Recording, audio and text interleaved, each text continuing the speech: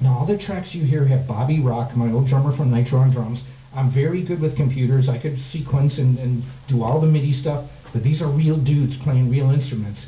Um, it's as close as a band that I could as, as I could possibly get doing clinics by myself. And so, so the real players, the bass player is different, the drummer is Bobby. But on this song, I got Ozzy's original bass player to play bass. This is Rudy Sarzo. In fact, the last clinic I did here at West LA, Rudy came to the, to the clinic. He was really cool. We had a good time. But he's a fantastic player. He was in Ozzy Osbourne with Randy Rhoads. He was in Quiet Riot when they had the first number one metal album. And he was with Whitesnake during their big uh, uh, heyday years of the 80s. And so I asked him, I said, Rudy, will you play on this track? He's like, cool. And he said, yes. So I said, cool. So here's what I'm going to do. I'm going to play my version of Crazy Train into Mr. Crowley's solo. Now, why am I telling you this? Guitar players will understand. Randy Rhoads did a lot of tapping on both those solos. I didn't want to play it like Randy. I wanted to make it sound like Randy, but I wanted to pay respect and play it Mikey's way. So here's what I did.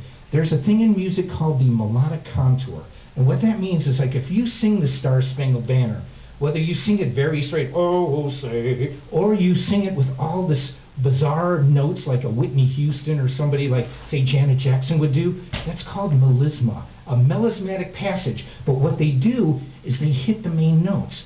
So that is the melodic contour. Anything you do in between is up to you. But those main notes of the Star Spangled Banner, as long as everybody recognizes it as the song, that is the melodic contour. So I did the same thing with Randy Rhoads. I said, he's tapping all this stuff, but I don't want to tap. I can make that same sound with arpeggios. Now, why do I like to do that? Because it adds about 50,000 extra notes. Personally, I kind of like that. And so, but it sounds very similar. So here we go. This is Tribute to Randy. It is track 4 minus 1, 3, divisible by metal. With Rudy on bass.